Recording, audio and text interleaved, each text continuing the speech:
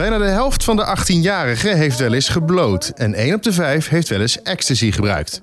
Maar wat als het gebruik ervan problematisch wordt?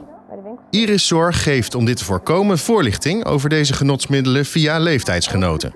Mout is een van deze zogenaamde peers. Ze is zelf ook student, woont in een studentenhuis en gebruikt af en toe drank en drugs.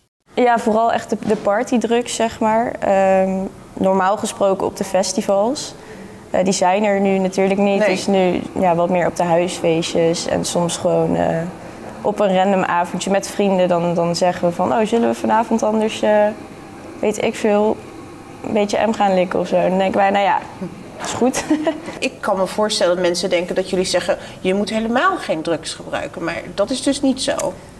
Ehm, nee, niet per se, maar we zeggen wel van drugsgebruik is nooit veilig. Dat kan niet veilig, maar we geven dan wel bijvoorbeeld het advies om het te laten testen, want dat kan. Eh, dan weet je in ieder geval wat erin zit en of het met minder risico kan, zeg maar.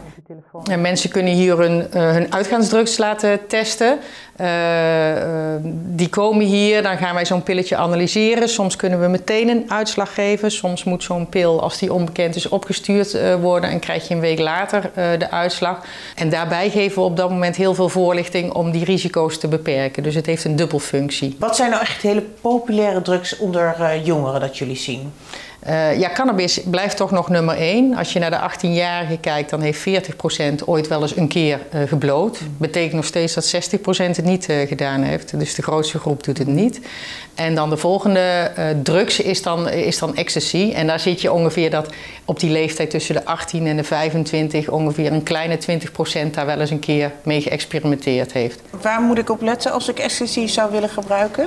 Eh, nou ja, ze geven dan het advies dat je 1 tot 1,5 milligram per kilo lichaamsgewicht gebruikt. Dus dan moet je eigenlijk weten hoeveel je weegt en dus hoeveel milligram er in je pil zit.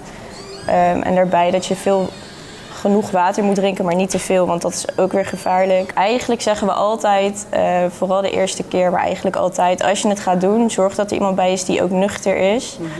Want stel er gaat toch iets mis, dan heb je wel iemand die helder kan nadenken en ehm, ja, meteen kan reageren. Als ik jou hoor, denk ik, ja, eigenlijk zou je helemaal geen drugs moeten gebruiken. Dus hoe verantwoord jij voor jezelf dat je zegt, ik vind dat ik het wel af en toe kan gebruiken? Eh, nou, ik heb juist heel erg zoiets van, ik vind experimenteren heel erg leuk. En eh, ik weet nu hoe ik dat op een beetje een verantwoordelijke manier kan doen. Dus als ik het daarbij kan laten, dan vind ik dat wel prima.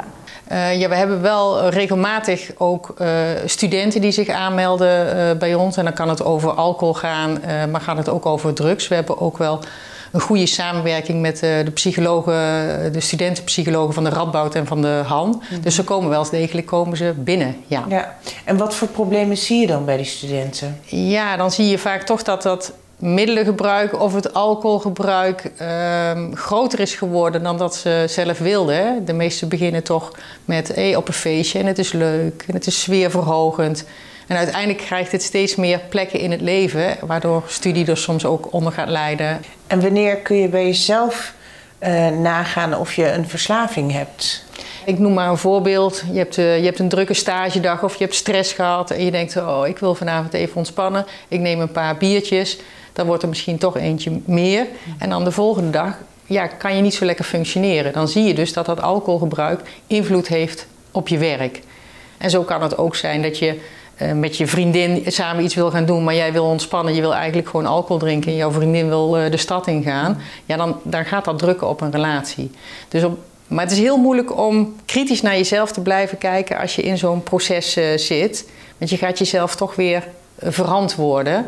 Maar eigenlijk kijken van, heb ik het nog onder controle of krijgt dat middel niet meer controle over mij?